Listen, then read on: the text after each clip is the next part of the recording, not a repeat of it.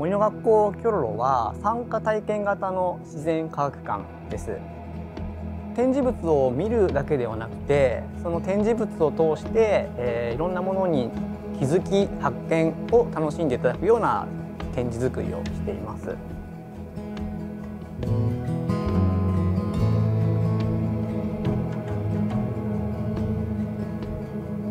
自然を紹介するのと同時にその自然の中で人が関わってきた道具とか、え、行事なんかも展示あるいは体験イベントで体験していただくというようなところも大切にしています。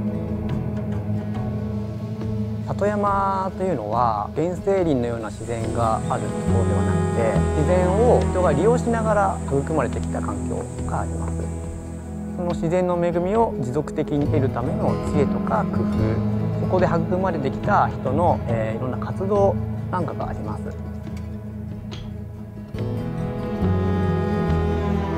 住んでみますと非常に豊かだな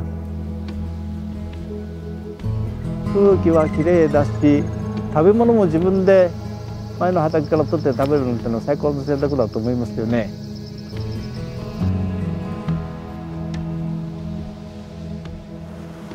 四季それぞれ一日たりとも同じ景色がなくてね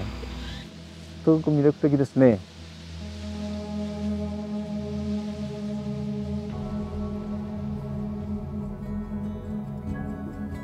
こう昔のあの人間の手が行き渡ってきれいにね整備されていたああいう世界がもう一度来てもらいたいなという気持ちありますね。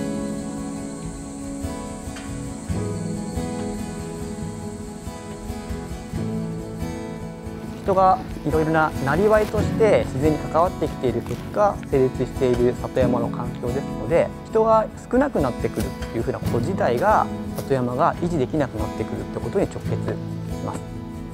私たちがミュージアムとしてできることというのはこの地域にある地域の方々にすればごくごく当たり前で何も珍しくないようなものがサイエンスだとかミュージアムの視点で見てみると実は何事にも代え難い宝物であるということに気づいていただくそしてそれが、えー、この地域の魅力磨きというところにつながっていければなと思いますしそれが関係人口とか交流人口という部分につながっていってこの地域というのが持続的に必要とされ続ける地域になっていっていただければとても嬉しいかなと思いますね。これから私たちが持続可能な社会の担い手になっていく中で里山というのは自然を持続的に活用して恵みを享受している場所。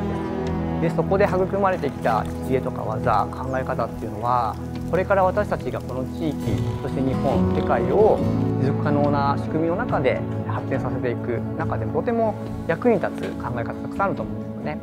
この地域に関わっていただくそしてこの地域に来ていただくことによって自分がこれから自然にどういうふうに関わっていったらいいんだろうか。私たちはその答えを教えているわけではないんですけどもの関わり方であるとかそういったところの考え方を展示だとか体験を通してお伝えしていった中で自分自身のホームに帰っていただいた時にこれからは自分たちがどういうふうに自然に関わっていったらいいのだろうかなというところに考えるきっかけにつながっていっていただければ非常に嬉しいかなと思います。